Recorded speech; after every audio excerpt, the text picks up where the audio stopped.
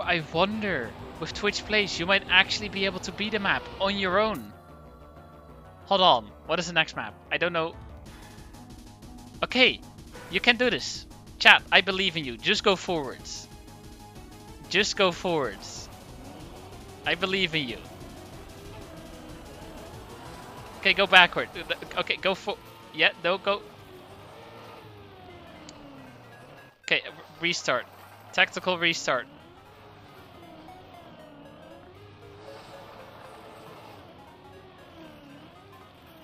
Come on.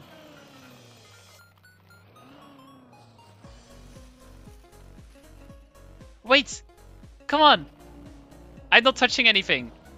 I'm not touching anything. Let's go! Twitch actually beat a map!